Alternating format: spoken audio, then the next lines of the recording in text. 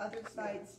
I It is can't something read that. quite I don't new. know think why I have Dr. that out Tyler. Pointing out that it's not just the pressure that gives the problem. Okay. Someone might have glaucoma at a lower pressure than somebody else. I know, And, and the damage may be worse at a lower pressure for that person. for that person, that's the So- trick. So it's not, That's what they're yes. telling you. So that's why, that's why he's saying, you know, it's All not right, folks, we're getting set up Just here. number, although he wants to get that number lower. Well, sure, and for you, he might want When a it lower number lowers. because of the damage he's seeing being done. Well, originally, I, I didn't understand it that way. I didn't understand the damage that had been done that made him know that I should be at a lower Yes. pressure. Yeah. I was all putting this together, it was all quite new. Oh, Yeah. I can't do That that. study that I sent you from Yeah. out of the University of Georgia, Yeah. which is where it sounds like it came Yeah. from. I was wondering if, if he was out of Georgia, if he went to. Oh, I don't know. if he- uh, But it was an interesting I could study. look him up. And, um, Well, it won't work. that- It helped me understand a little bit more what you were saying, so. Well, yeah, after I did some more research, I did, then I felt fine, I was reading it, and this is what they're recommending. Yeah. It's been going on enough through all their trials and everything, it's not like it's So discovered you're just. gonna, you're gonna get those eliminate thing, Oh, I'm sorry. Um, that injecting that little, whatever that is. yeah, Yeah, I think that's, that sounds well, like a then I really don't good have to take the drug that t- does tend to vanish away with tears or whatever, light. Whereas this thing, um, doesn't vanish away, and it is about four to six months for the person. Yeah, so I, I feel better about it. Good. And I How's the sound, folks? How's the picture? How's the sound? Sounds like you're talking pretty quiet, so I don't know how the. You'll find out in just a second. Hey, John Rains.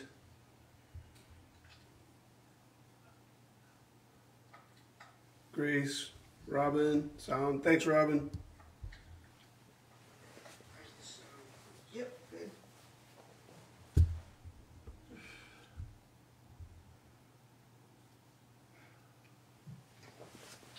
All right. Indian land bubble goes over the top of us. How's the sound now? Now that I'm over on this side of it, on the Floyd side of things. Oh, we got that circle of light again.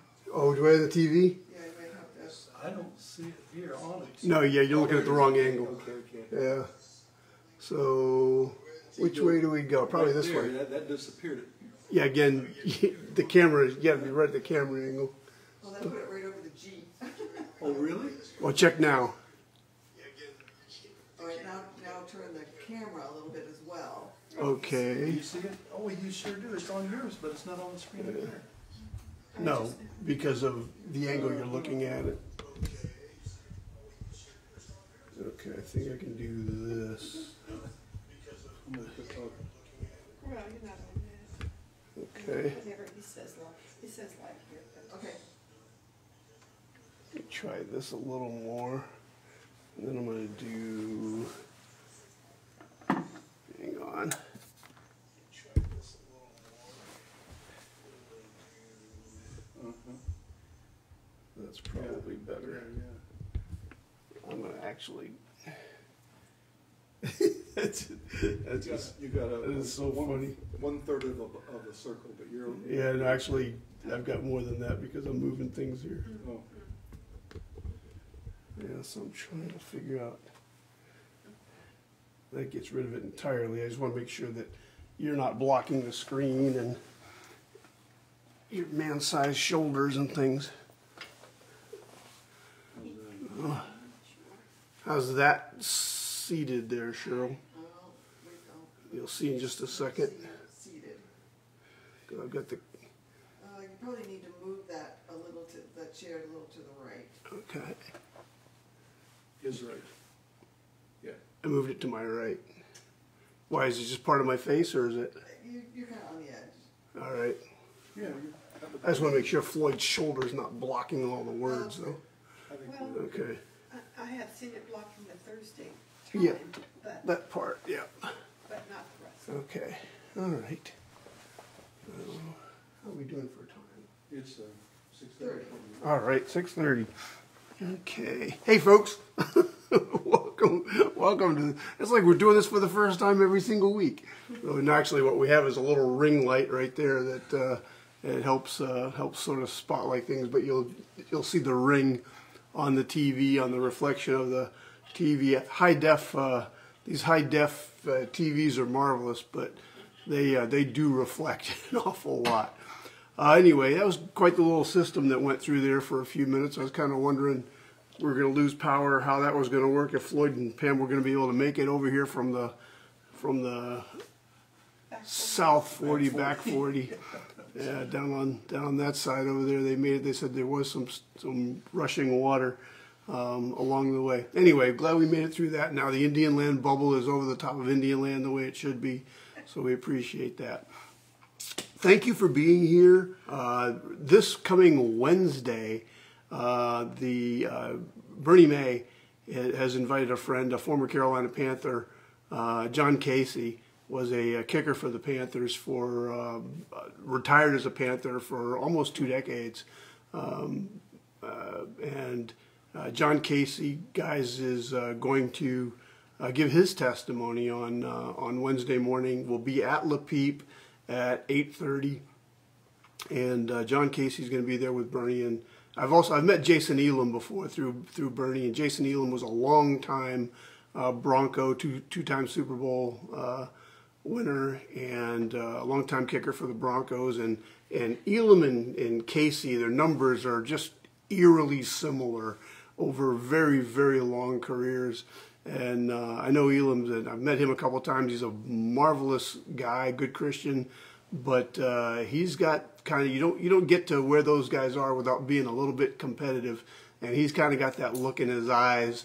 And it's going to be fun to see if Kasay's got that same look because I got a feeling they're wired pretty much the same way. And my question to him is going to be, okay, what, what age were your kids finally when they just told you they weren't going to play anything with you anymore because it didn't matter whether it was Uno or pick up basketball in the driveway, you were, you're just so competitive you can't really turn that off. And, and so it'll be interesting to, to see him and, and hear his, uh, his, his walk with Christ. Then Sunday next week, Easter Sunday, uh, next week, April 4th, we are having the sunrise service at the Lodge Pavilion.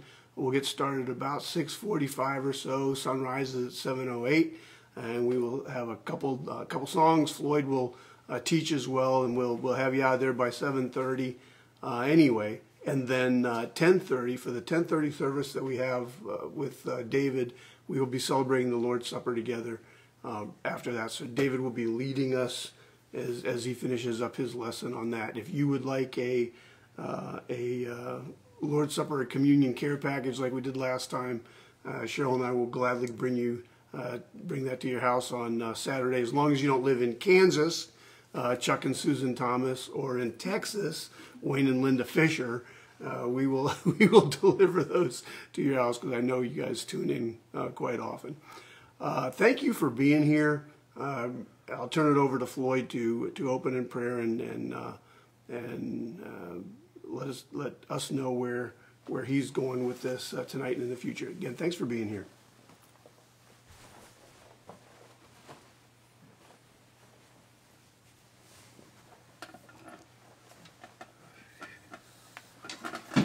You can do all that. How's that? Whatever gets you comfortable. Is that okay on the screen? Looks good. Looks good on the camera. Well, good evening, folks. Here we are on a a rainy Thursday night, huh? But we are here and we're ready to continue along the journey with Abraham in his walk of faith. The relentless pursuit of living by faith. You know, it is a constant battle to stay focused. And just like we're talking about these athletes, you know, they've learned to stay focused on their game. Uh, we need to make sure that we kind of stay focused on uh, staying close to the Lord and listening to His voice and His Word and and following Him in faith. I found a verse for you tonight in Isaiah.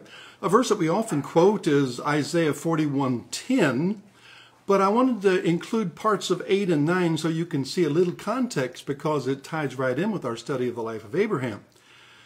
The Lord says through Isaiah, But you, Israel, my servant, the offspring of Abraham, my friend. Abraham, my friend, and James is going to refer to that in James chapter 2, and he was called the friend of God. Then it goes on and saying, saying, saying to you, talking to Israel, and since we are the offspring of Abraham, spiritual offspring of Abraham by faith, I think we can apply this. You are my servant, I've chosen you and not cast you off. Fear not, for I am with you. Be not dismayed. Don't, don't, don't, don't get so distressed that you're ready to throw in the towel, for I am your God. I will strengthen you, I will help you, I will uphold you with my righteous right hand. So when the world seems like it's uh, just circling, going down, we need to make sure that we stay focused on our God who is able to strengthen us, help us, uphold us by his righteous right hand. So since God calls Abraham his friend, and we are his offspring by faith, why don't we come to the Lord and let's let's uh, let's pray and ask the Lord to open our eyes to other truths from the life of Abraham. Father, we thank you again for all the good things you've given to us in Christ, the offspring of Abraham, the one that you promised. And Father, we thank you that you kept your word and you did send Christ into the world.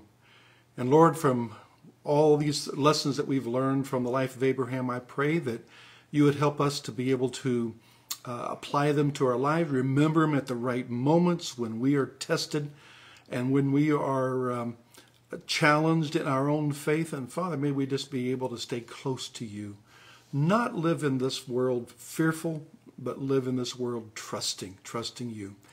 We ask that you would continue to bless our country, give our uh, leaders uh, in whatever level, from the president on down. Oh, Lord God, I just pray that you would give them your wisdom, help them, Father, to listen to your voice and your word. And Lord God, I just pray that our, our land would uh, um, be healed from so many of the things that it is afflicted with at this present moment in history. Help us tonight to see great things out of your word in Jesus' name. Amen.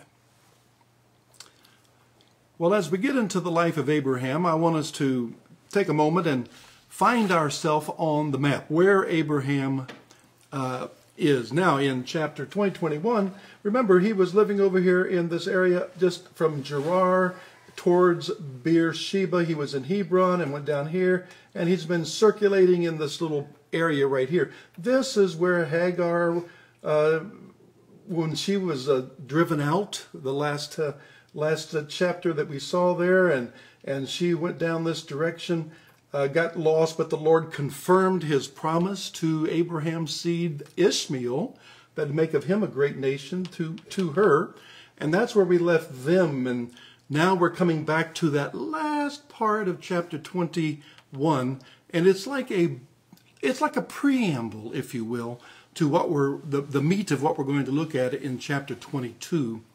And that's why I put up here Mount Moriah in Jerusalem, because that's Salem over here, but it's come later become Jerusalem.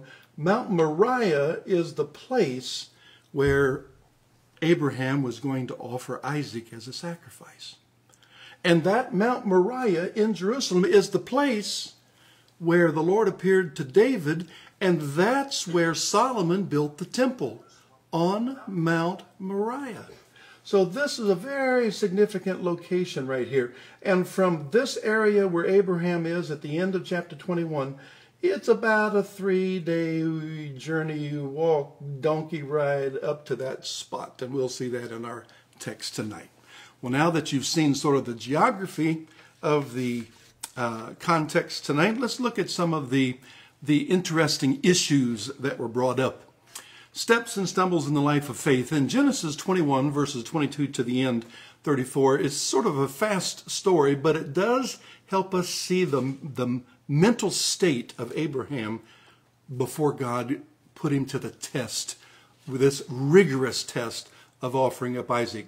Have you noticed that uh, sometimes the older you get and the more victories you see in your walk with faith, the Lord gives you even a greater test. Well, that's what we're seeing in the life of Abraham.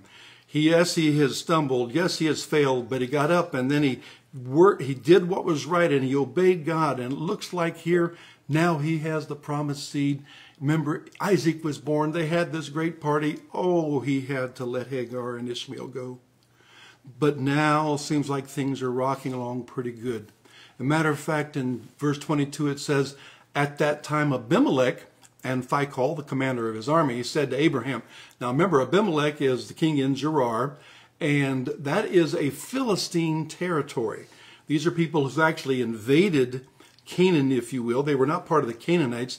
They invaded Canaan from the Caphtor area, uh, some think from what we might call Cyprus and Crete, other places like that, or even on the Greek peninsula. But here they come, and there he is, and look what Abimelech says. Remember, this is the fellow that took uh, uh, Sarah into his harem prep time in chapter 20. This is the fellow that God appeared to and said, You're nothing but a dead man. You're a dead man walking if you touch that woman. And this is the man that came to Abraham and said, What have you done to me? So he knew that God was doing something special with Abraham. So now some years have gone by. And Abimelech and Phicol came and said to Abraham, God is with you in all that you do. Now, isn't that a good testimony? So Abimelech is seeing that this man is prospering. I, I don't know why he, he, seems to be able to, to run his affairs. He has this huge number of shepherds and workers, and, and they're doing things the right way, and they're making a profit, making a good living, and they've been a blessing to me, just being around me. God is with you, and the Lord's blessing me because you're around. Now, therefore, swear to me here by God that you will not deal falsely with me and with my descendants or with my posterity, but as I have dealt kindly with you, so you will deal with me and with the land where you have sojourned. And Abraham said, I will swear. Now you might think that's a little bit strange. There's two things in there. One is, I notice, Abimelech says, God is with you in all you do. But I also want you to swear to me, you will not deal falsely with me. Why did he say that? Abraham and Sarah had deceived him, you remember? And yet God is with this man. And so, you know, kind of like a gentle reminder. And Abraham says, You've been good to me. You've been kind to me. God's prospered me in this land. I will swear that I'll deal justly and right with you. You know what? It's nothing wrong with living peacefully among a people that really don't know the Lord. God's people can do that, and Abraham is an illustration of that. We can live peaceably with others around us. And Abraham said, I'll swear. And then the text goes on. Interestingly, it's as if that swearing might have been, you know, back a little farther and then some time went on, but when Abraham reproved Abimelech about a well of water that Abimelech's servants had seized, whoa, water is precious, and Abraham had dug a well, and seems like Abimelech's servants had seized it from his servants, and so he comes to Abimelech, and just because we live peaceably among a people and we're strangers in their land doesn't mean we are doormats. So he goes to him. He says, Now we've got an agreement. And he says to Abimelech, I do uh, uh, talk to him. He reproved Abimelech for, for what his servants have done. And then Abimelech says, I do not know who has done this thing. You did not tell me, and I, I have not heard of it until today. So he, he gives his defense. And actually, the words that they use here and this whole thing of reproving is a judicial word of the time. And Abraham has said, You know, we made an agreement and you violated the agreement. And he said, I didn't know. I didn't know. And so making his defense. And so, verse 27 So Abraham took sheep and oxen, gave them to Abimelech, and the two men made a covenant. So he's going to make this even more legally official. And so the text then goes on to say, Abraham set seven, I underscore seven because it's going to be important in the text. Abraham set seven ewe lambs of the flock apart. And Abimelech said to Abraham, What is the meaning of these seven ewe lambs that you have set apart? And he said, These seven ewe lambs, I mean, didn't we get it? Okay. Seven ewe lambs you will take from my hand that this may be a witness for me. Do you see the legalities going on here?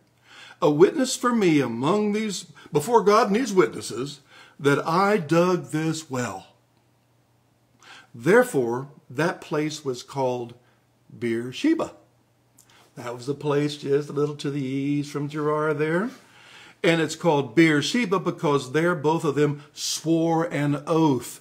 Beer is well, Sheba is an oath. But the reason I underscore the seven and the seven mentioned, seven and oath are very closely related words. Matter of fact, some people think that to put yourself under a seven is to make an oath and swear by that. It's almost like you said seven times, I swear, I swear, I swear, I swear, I swear, I swear, I swear, seven times. And so it's just like that. And so they're doing this thing very, very legally. They both swore an oath. So therefore that place was called Beersheba because there both of them swore an oath. So they made a covenant at Beersheba. Then Abimelech and Phicol, the commander of his army, rose up, returned to the land of the Philistines. You see that? First time we really saw that right there. Philistines. And Abraham is going to hang around Beersheba. This well that he had dug. This well that is now legally vouched to him, so to speak, by all the protocols of that day. And Abraham planted a tamarisk tree in Beersheba. It's like a, a tree that would grow in a kind of an arid climate. It's a, it could be a kind of an oak, if you will. Think of all the different oaks we have around here. We have pin oaks with their nice uh, jagged leaves. We got blackjack oaks that are sort of wild. And then over here on some of our uh, uh, pods, we have we have um, live oaks, the small little leaves. And you know, they do quite well when they don't have much water sometimes. So that's the kind of a tree that Abraham, not saying it is the, the tree, but it's kind of a tree like that. It's a different leaf. It can survive. It doesn't expirate too much into the atmosphere, and it, and it can survive uh, drought times. He's planted a tamarisk tree in Beersheba. So now he's got this tree, he's got well, and he called on the name of the Lord the everlasting God. No doubt he built an altar. Abraham is living a life of peace, prosperity, and he's worshiping God. Everything looks like it's falling into place. And he calls on the name of the Lord, the everlasting God. And Abraham sojourned many days in the land of the Philistines. Now that is the preamble to chapter 22. You see, many days is probably telling us this is when Isaac, the boy who was weaned in chapter 21, is now grown to 12, 14 years of age, something like that, because he is going to be carrying some wood on his back in chapter 22, and he's going to be a pretty good boy there to be able to go up a mountain with wood on his back. But here Abraham is calling on the name of the Lord, the everlasting God. As we have walked, walked through the life of Abraham, the Lord has progressively revealed himself to Abraham under different names. You see, in Genesis, he's called God in chapter 1, and then he's the Lord God, Yahweh Elohim, in chapter 2, the Lord God. And then when it comes to Abraham, he is God, who calls him out of Ur the Chaldees. And then in chapter 15, he is the Most High God, El Elyon, when Melchizedek met him. And then as he gets closer and closer to being uh, having the, the promise of the seed through Sarah and not through Hagar, he's revealed as El Shaddai, the powerful provider, the God who can provide. And now here he is the Lord Yahweh, the everlasting God, El Olam, the God who stays and stays and stays and stays the everlasting God. And Abraham may have been thinking about all that the Lord had done and knowing, you know what? Things are going to happen, but they may not all happen in my lifetime. But I know God's going to carry out his word.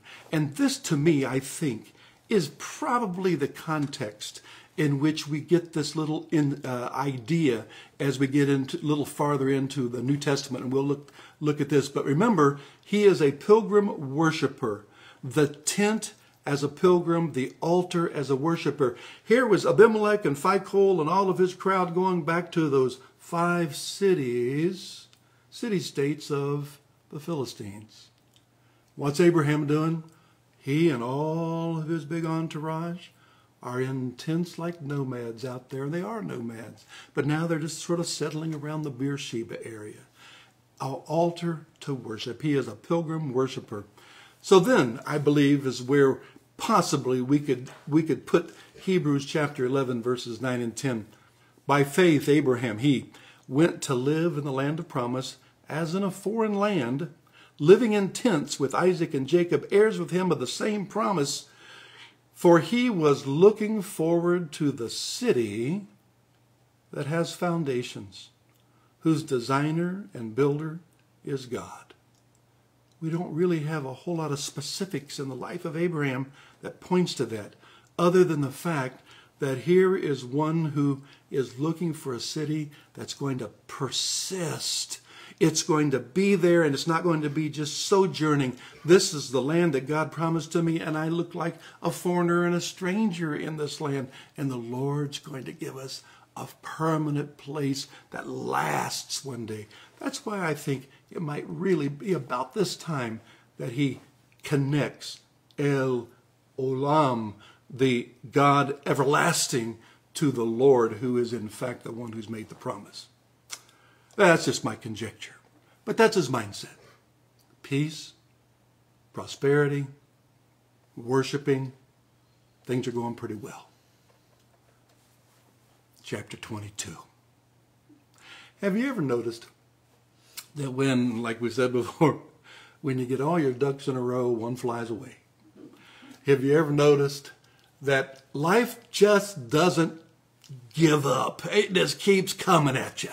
Sometimes things are just new things walk in. You have new people that come into your life, or someone new at work and it causes a difficulty, or something else happens. The neighbors change and you don't get along with them like you got along with others. Eh, there's one thing after another after another, and it just keeps rolling along, doesn't it? And sometimes things leave. Sometimes you're just having a good time and suddenly you get sick. Didn't, didn't see that one coming. Or you break a leg or you break an arm and, and then things don't quite heal right and all those wonderful exercises and sports that you used to like to be involved in and it's just not quite the same. You know, some things come in, some things go out, whether it's people or or finances or you're looking forward to retirement and, and then something happens to a spouse and you don't fulfill those dreams, your plans go away. The Lord tests us. He tests us all along the way. Abraham here is one of the really serious tests. And here's where the Lord tests him to let go. He sent Ishmael away. That was heartbreaking to him, but he understood this is the seed. This is the one. This is the one that you promise it's going to be the, the line of the offspring that's going to be through that offspring is going to be a blessing to all the nations of the world.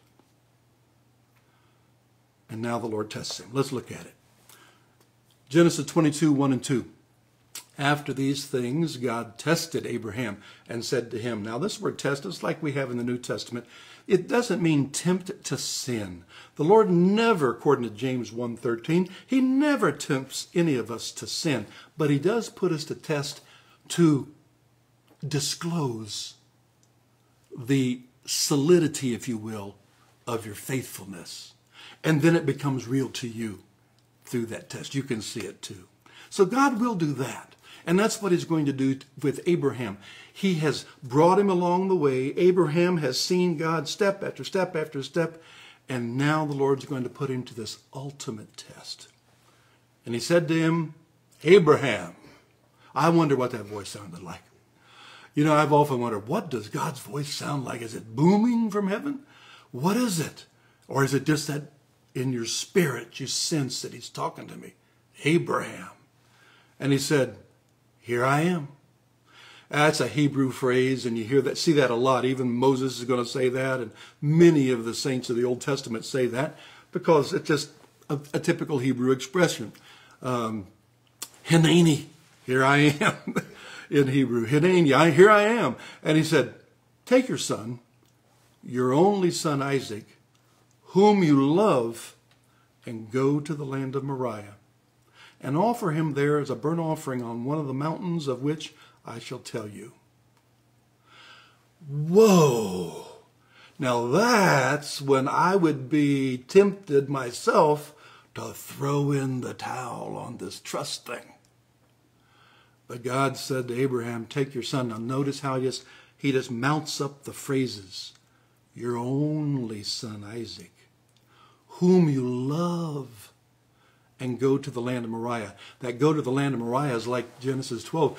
Leave your country and your kindred and go to the land that I'll show you. And now the Lord said, okay, I want you to go to Moriah. It's a, a very similar kind of thing. As we saw the life of Abraham beginning in chapter 12, the beginning of the promise, now we have the ultimate test of the promise here towards the end of Abraham's life.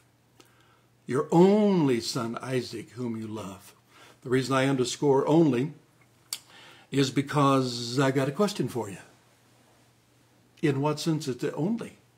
Abraham had Ishmael. He fathered Ishmael. How is it that he's your only son? Well, let, us get, let's dig into that just a little bit. First off, notice when it says the land of Moriah, before we go to the person, the land of Moriah, Mount Moriah as I said before, is in Jerusalem itself, right up to one of those mountain peaks that Jerusalem is situated on. But this is going to be the site of Solomon's temple. Second Chronicles 3.1 actually says it was built on Mount Moriah where God appeared to David. We'll come back to that one. But let's look at this. Take your son, your only son, Isaac. Look how Hebrews uh, words this. Hebrews 11, verses 17 to 19. By faith, Abraham, when he was tested, all right, here we are, offered up Isaac, and he who had received the promises was in the act of offering up his only son. The New Testament says the same thing. His only son, of whom it was said. Now we're going to see how only fits since he also has Ishmael. Through Isaac shall your offspring be named. It's not through any other son that you may have begat, that you may have fathered, but this is the only son through whom you your offspring is named, and that's where the Messiah is going to come. That's really the heart of it.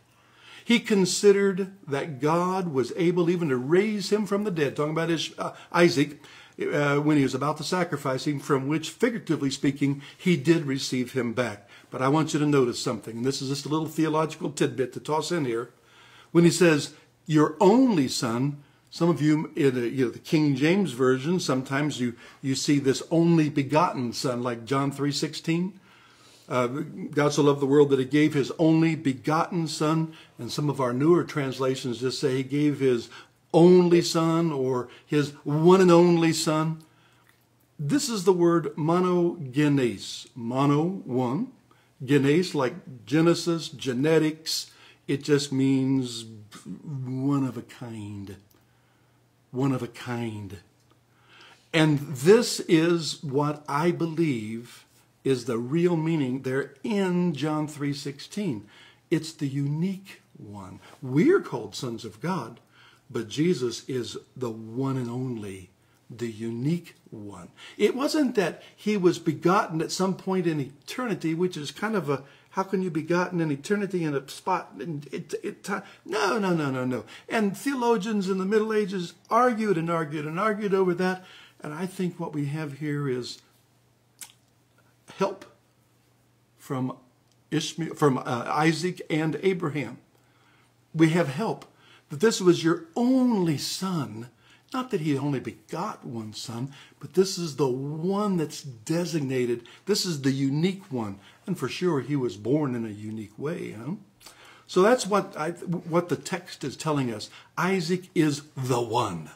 He's the one through whom God is going to bless the world. So, what does Abraham do? Well, let's move out from the test of faith to the obedience of faith. And notice in verses 3 and 4 so Abraham rose early in the morning. Do you remember Genesis 21 14? When the Lord says, Listen to Sarah's voice, and you take Hagar and her son Ishmael, and you, you take them and you send them away. And so the next day, the text says, Abraham rose early in the morning. Same phrase. He saddled his donkey, took two of his young men with him and his son Isaac, and he cut the wood for the burnt offering, and arose and went to the place of which God had told him. Now notice, on the third day. Now, I'm not trying to read too much in on the third day, but this is going to be very, very significant when you think about our Lord Jesus rising on the third day and Abraham receiving Isaac back as in a figure from uh, raised from the dead. On, but on the third day, Abraham lifted up his eyes and saw the place from afar.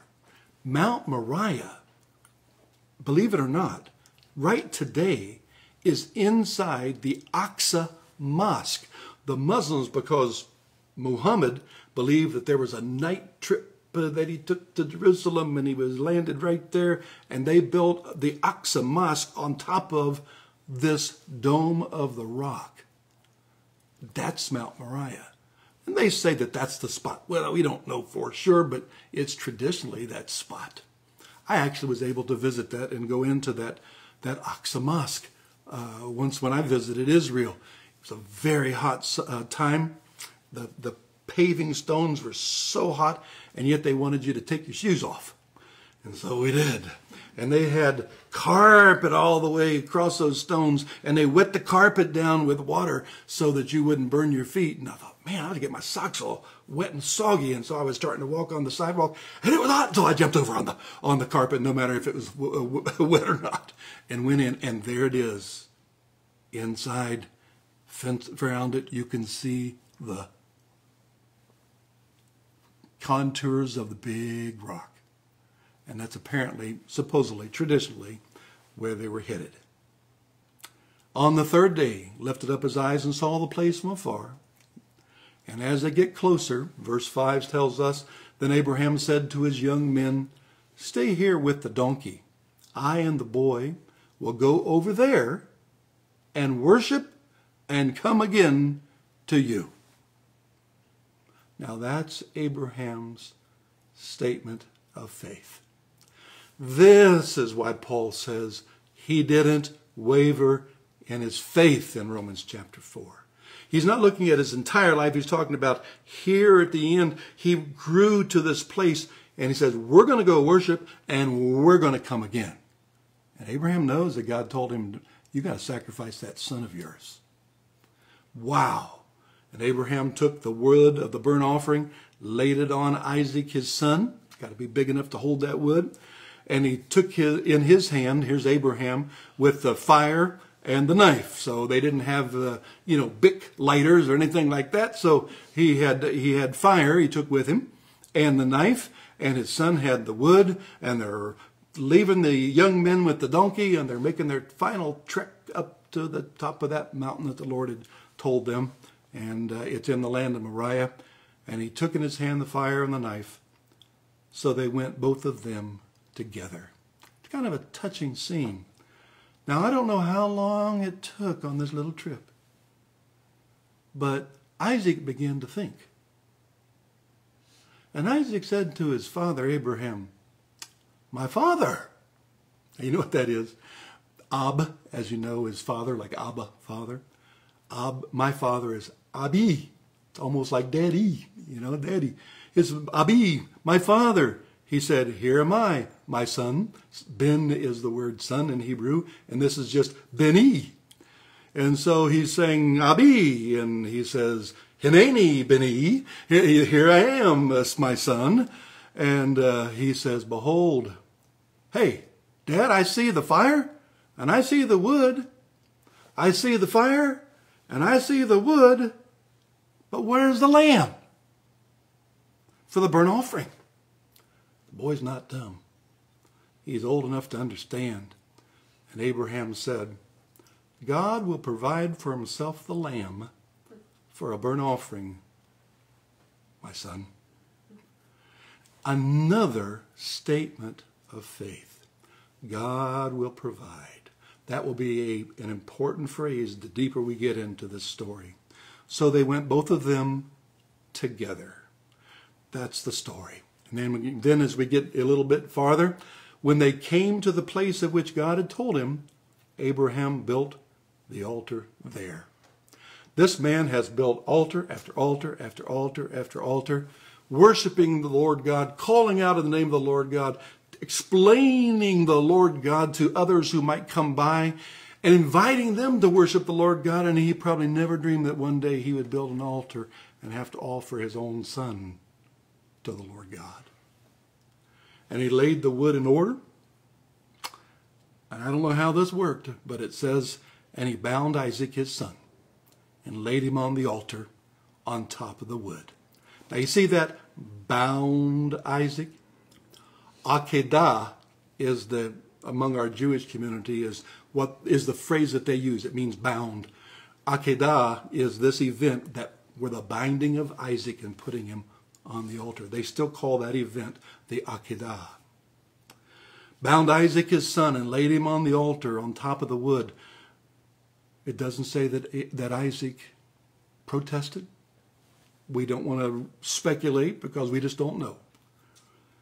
But it seems like he was a very willing sacrifice. Then Abraham reached out his hand and he took the knife to slaughter his son.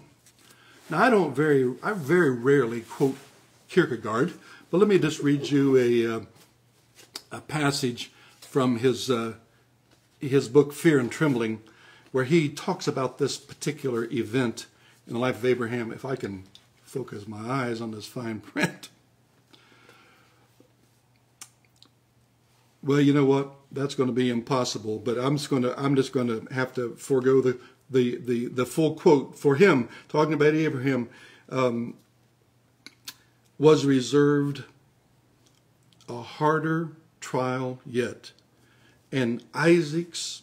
Okay, I can't even read it. Try it. Go ahead and read it, brother, if you can read it.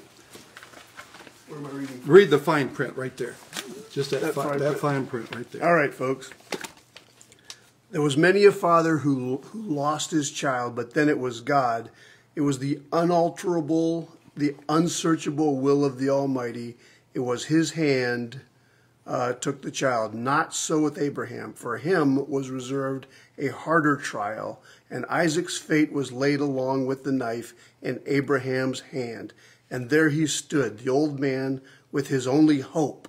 But he did not doubt. He did not look anxiously to the right or to the left. He did not challenge heaven with his prayers. He knew that it was God the Almighty who was trying him, but he knew that it was the hardest sacrifice that could be required of him. But he knew also that no sacrifice was too hard when God required it, and he drew the knife. Wow. Now you think about that. He took the knife to slaughter his son. He had the knife and his son's fate in his hand, is what Kierkegaard is pointing to.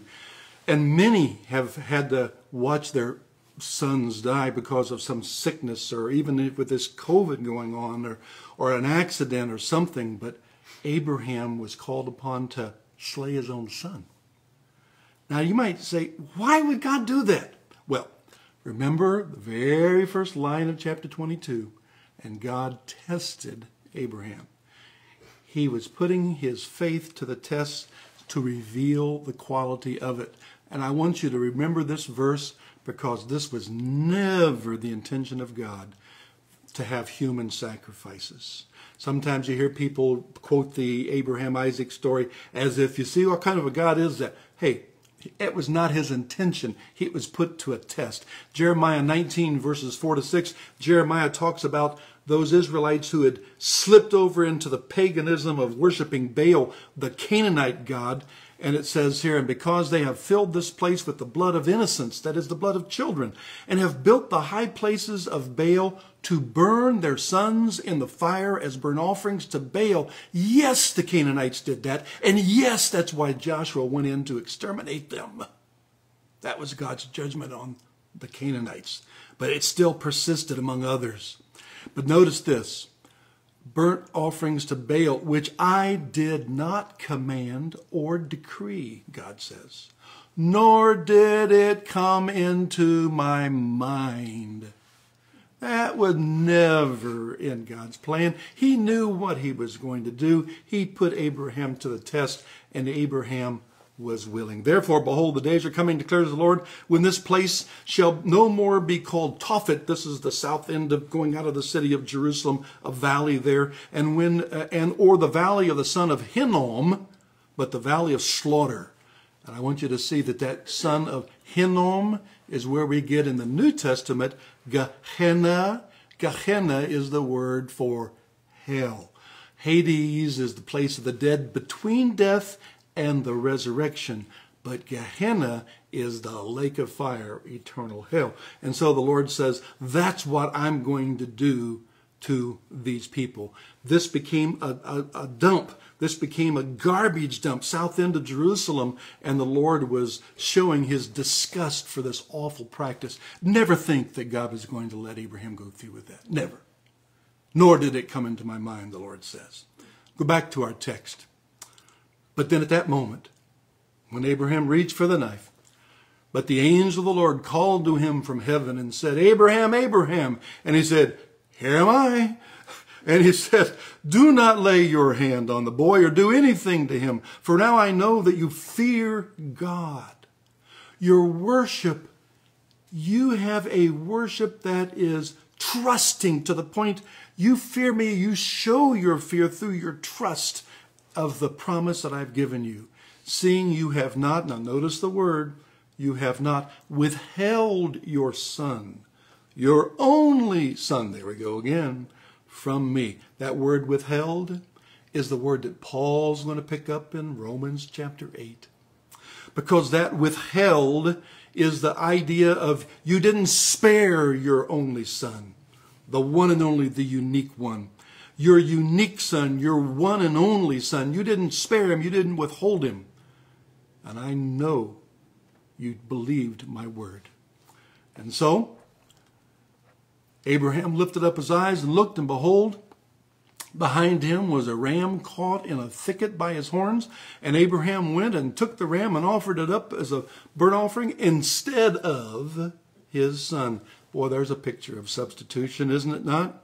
This is very similar instead of his son, the Romans 5 8, where Paul says, But God shows his love for us, in that while we were still sinners, Christ died for us. And look at Romans 8, verses 31 and 33. What then shall we say to these things? If God is for us, who can be against us?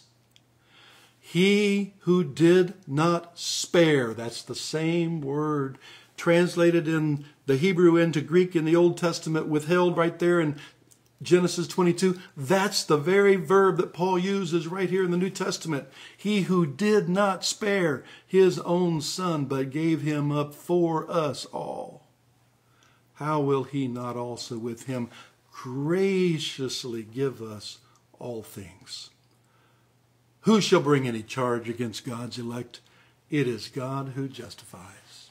We're children of God by faith, just like Abraham was a child of God by faith. And we exercise that faith in the Son of God, who the Lord God the Father didn't spare his own Son, gave him up for us, and we trust him. The Lord wasn't going to have Isaac sacrificed. He knew what he was going to do through his offspring to come into this world to produce a salvation for you and for me. Did not spare his own son, gave him up for us all. And the Lord justifies the, the person whose heart is a heart to worship God and believes his word, his promise, and trusts in Jesus, who is the Son who was willing to lay down his life for us and loving the Father who loves us so much, gave him up for us all. How will he not also graciously? And that's the point. God, by his grace, saves us. It isn't through our work, it's through the Son that he didn't spare. It isn't through our good deeds, it's through His grace, through His Son that He didn't spare. And as we come upon this week, Saturday night, this week, Saturday, it at sundown begins Passover. Sunday is going to be for us as Christians. We be, we we remember the um, the triumphal entry, but as we get into this whole Passion Week, we want to remember the one who didn't spare his own Son for us. Grace of God revealed that justifies us. Back to our text to finish it up. So Abraham called the name of that place the Lord will provide. Remember, he told Isaac, God will provide for himself a lamb. Now, there's a play on words. As is said to this day, they actually made a little proverb out of it. On the mount of the Lord it shall be provided. Now, let me show you why some of your versions may say, say, we'll see. Uh, the Lord will see, and uh, on the mount of the Lord it shall be seen. Some translations have. You see, this is where we get in the Old King James Jehovah Jireh, the Lord will provide. And the idea of seeing and providing are very much related. When, when Abraham said to Isaac, God will provide, the Lord, God will see to it. God will see to it. And when he got up there, guess what? God saw to it. And he spared Isaac and he had the ram caught in his horns.